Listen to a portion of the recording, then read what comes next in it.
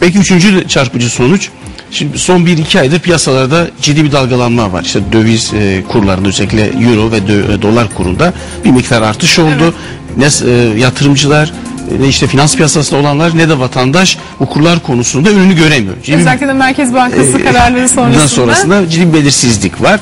Burada biz mesela yıl sonu e, kur beklentilerini sorduk. Mesela 2011 yılı sonunda işte dolar kuru e, ne olur? İşte e, euro kuru ne olur? Ve orada tabii aralıklar verdik. E, çoğunluk yani ağırlıklı görüş e, dolar kurunun yıl sonunda 1.500-1.600 arasında olacağını. Euro kurunun 2000-2100 arasında olacağını söylüyor. Demek ki kurlarla ilgili endişe aslında kaygı yersiz. Tabii ki şu olabilir. İşte finansal piyasalar işte kurlar, döviz piyasaları dünyanın her yerinde dalgalanırlar. Yani doğaları gereği inerler çıkarlar. Dolayısıyla yıl içerisinde burada da yükselebilir. Yani işte do- dolar kuru belki 1.650'ye 1.700'e kadar çıkar. Belki bir e, 450'ye kadar düşer. Yani geçici olarak çok kısa süreli bu dalgalanmalar olabilir ama yılın geneli itibariyle dolar kurunun 1.500'ün altına pek inmeyeceğini ve yılın e, işte geneli e, yine itibariyle 1.500-1.600 arasında seyredeceğini e, söylüyor e, anketin sonuçları. Peki hocam sizi burada biraz soluklandıralım ve bakalım piyasalardaki son durum neymiş? Kurlar şimdi ne durumda?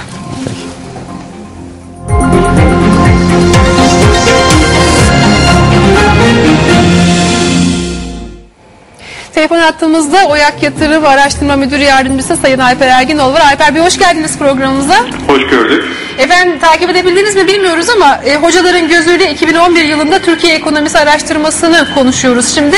E, ve Türkiye genelinde iktisat e, akademisyeni olan hocalarımız demişler ki 2011 yılında dolar 1, e, 1.500 ile 1.600 arasında, euro da 2000-2100 arasında dalgalanır.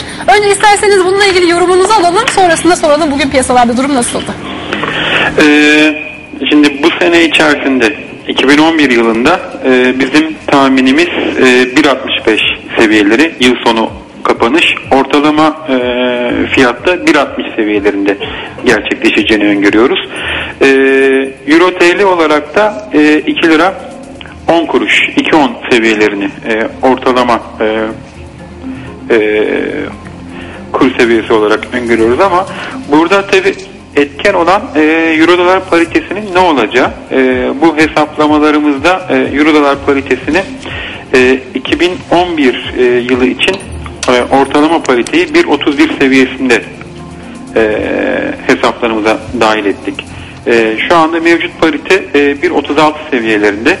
E, burada e, bildiğimiz gibi hem Amerika tarafındaki ekonomik aktivite e, durumu hem de Avrupa tarafındaki e, bankacılık e, sektöründeki e, sıkıntılar, e, finansal sektördeki sıkıntılar, hükümet e, e, sorunlu hükümetlerin olması, parite hareketlerini etki eden faktörler.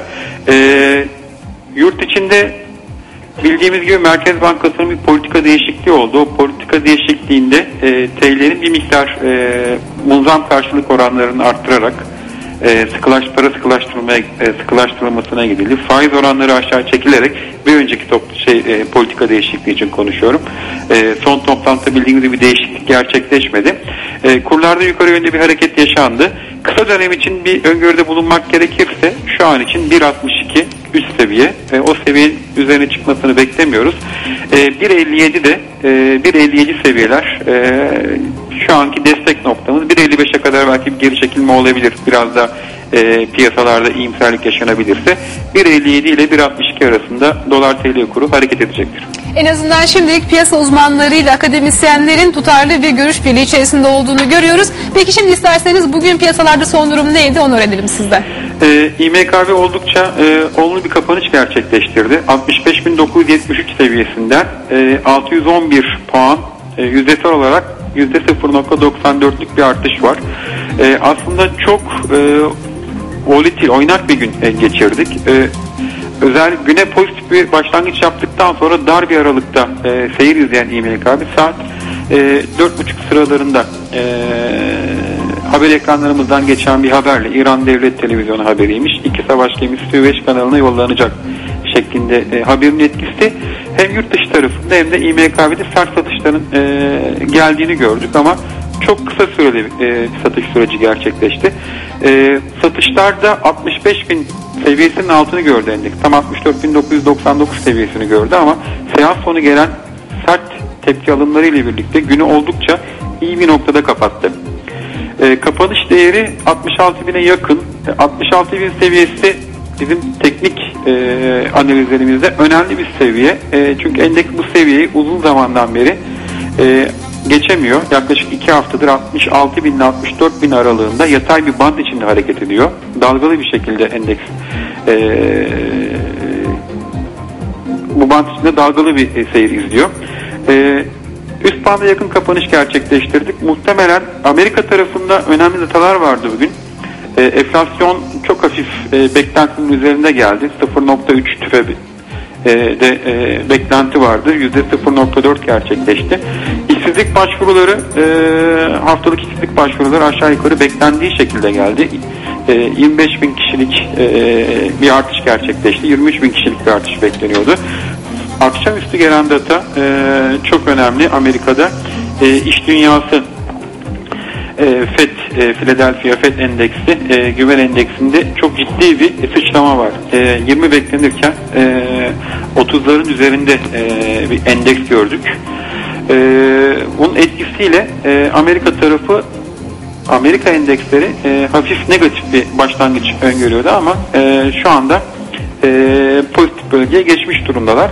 İMKB'nin seyri açısından yurt dışı gelişmeler çok önemli olacaktır. E, çünkü yurt dışı piyasalarda olabilecek dalgalanmalar e, İMKB endeksini e, ciddi bir şekilde etkiliyor. Bunun nedeni de şu an için yabancı yatırımcının e, piyasada çok e, etkin olmamasına bağlayabiliriz.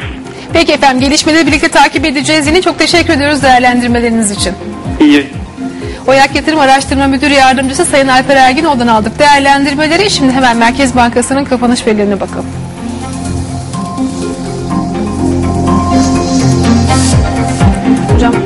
8-9 dakika mı?